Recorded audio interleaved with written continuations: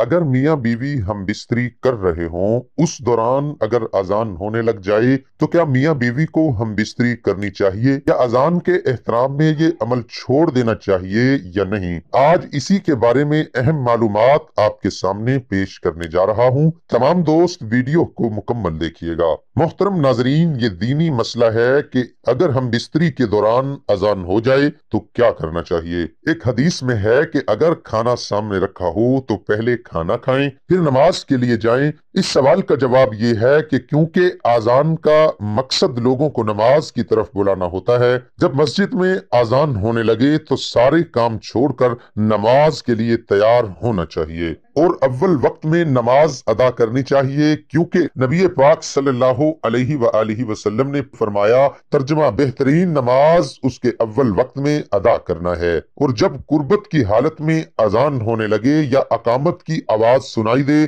تو اس عمل کو جاری رکھنے میں کوئی حرج نہیں۔ تاہم اس سے جلد از جلد فارغ ہو کر غسل کر کے نماز ادا کر لیں۔ یاد رہے، اذان سننے کے بعد بستر پر لیٹے رہنا حتیٰ کہ اقامت ہونے لگے، تب قربت کرنا یہ سراسر غلط ہے۔ یہ تمہاری غفلت ہے، جہاں تک اذان کے جواب دینے کا مسئلہ ہے۔ تو یہ سب پر واجب نہیں ہے، بلکہ فرض کفایا ہے اور بڑے اجر و ثواب کا حامل ہے۔ اس لیے قربت کے دوران جواب دینا چاہیے، تو دینے میں کوئی حرج نہیں ہے۔ لیکن قربت کے وقت اذان کا جواب دینے سے علماء نے منع فرمایا ہے۔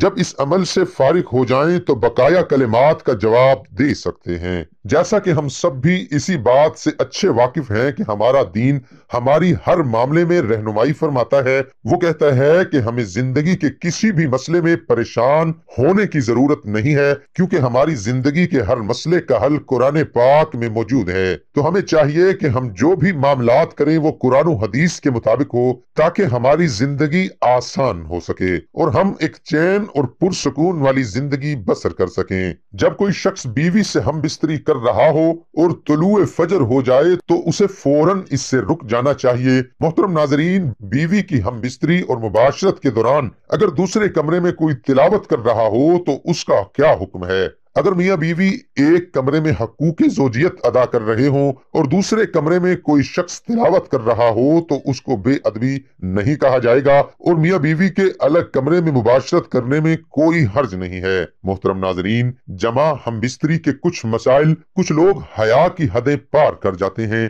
اور کچھ لوگ انتہا حیا و شرم یا بڑائی کی وجہ سے جائز و بہتر لطف اندوزی بھی نہیں کرتے۔ اور کبھی اس وجہ سے میاں بیوی میں محبت کم ہونا شروع ہو جاتی ہے۔ چڑچڑا پن اور غصہ بار بار آتا ہے۔ گھریلو پریشانیاں جھگڑے شروع ہو جاتے ہیں یا عورت اپنی لطف اندوزی قربان کر دیتی ہے، قلت و اولاد پہ اکتفا کر لیتی ہے۔ اس لیے یہ تحریر سریام پبلک کر رہا ہوں تاکہ ان سب مسائل کا تدراک ہو۔ بے حیائی سے بھی بچا جائے اور انتہائی شرمیلی پن سے بھی بچا جائے۔ کبھی کبھار یا وقتاً فوقتاً جائز لطف اندوزی کی جائے، عورت کو لطف اندوزی کرنے کا بھی موقع دیا جائے۔ کچھ لوگ جائز و بہتر لطف اندوزی کو دین سے الگ سمجھ کر کافروں، انگریزوں، فاسقوں کی عادت سمجھتے ہیں۔ جبکہ جائز لطف اندوزی کی اجازت دین اسلام نے دی ہے۔ دین اسلام تو جائز دنیا و دین کا حسین امتزاج ہے۔ ہاں دنیا و لطف اندوزی میں غرق رہنا عبادات کم کرنا یا نہ کرنا ٹھیک نہیں،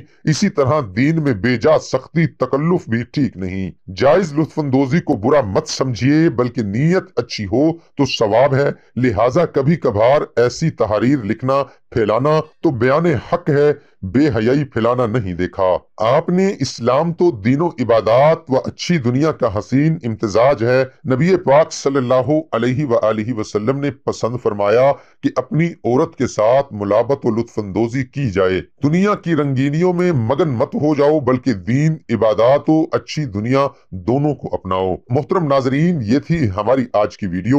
اللہ تعالی ہم سب کو دین حق پر چلنے کی توفیق عطا فرمائے اور ہم سب کو شریعت کے مطابق زندگی گزارنے کی توفیق عطا فرمائے۔ اللہ تعالی ہم سب کو پانچ وقت نماز با جماعت ادا کرنے کی توفیق عطا فرمائے۔